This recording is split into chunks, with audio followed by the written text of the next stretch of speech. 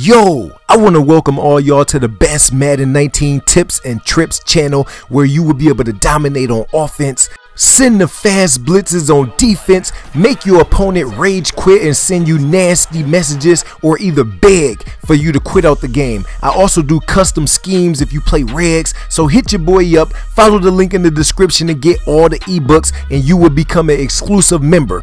Welcome to the Clamp Squad. What's up gamers? Welcome back to another Madden 19 tip video. I appreciate all the love and support. We got almost 2,000 views on the last video, so make sure you drop a like on the video and we're gonna go over how to user like the pros. If y'all need any more help, let me know in the comment section. If y'all need updated post-patch ebooks, they are in the link in the description and they are gonna be both fire. They are all getting updated this weekend. So the number one key is if you have your blitz set up which will be in my ebooks. You will have all these blitzes. You can see me with a looper coming in right here. So the key is the L1 or the LB controller, depending on what kind of system you are using. If you are in a spy, if you got somebody manned up, that will give you an auto assist. As soon as the quarterback has the throw in motion, that's when you want to hold the Y or the interception button. You can see me right here. If I'm in the QB spy, his legs will shuffle. If I have somebody cross man,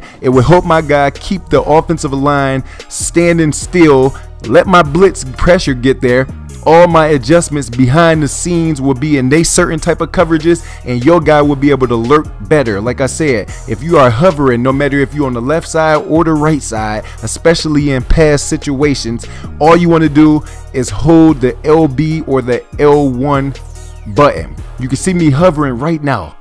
I'm gonna hold the L1 as soon as he hikes the ball. I'm gonna slow it down for y'all. That's gonna make me hold that right side. Look at the guard, look at the tackle. I am holding them.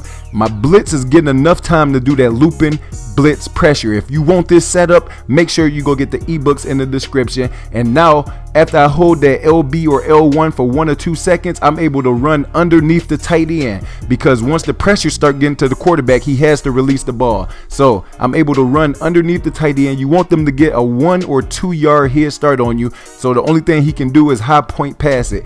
You are able to look down and see all the route concepts. That's the good thing about this. He hikes the ball. I'm able to see what my tight end is doing. I'm able to look around the field and see if a post, if a drag is coming. Now I'm able to play defense and pick up on the person that I am responsible for. That's the key to using the L1 or the LB button. It's a feature in the game, so you need to make sure that you utilize it to the best of your ability. I am hovering. I got my blitz all set up. If you need help with any kind of blitzes, any kind of offensive tips, go down in the description and become part of the Clamp City squad. I'm holding L1, LB, and I'm hovering. I'm letting my tight end come. It's giving my blitzer more time. You can see the looper coming in right there. No running back, no offensive lineman is going to pick him up. He feels the pressure, has to get rid of the ball. He throws it fast, and my cornerback is right there to pick it off. If y'all enjoy these tips, drop a big fat like. Happy Thanksgiving. Let's go.